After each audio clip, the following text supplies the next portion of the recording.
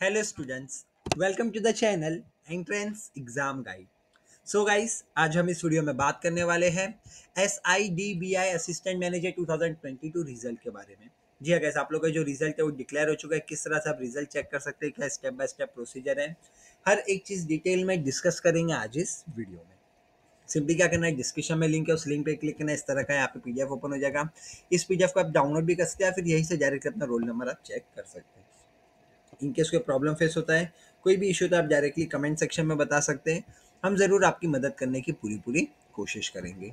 thank you friends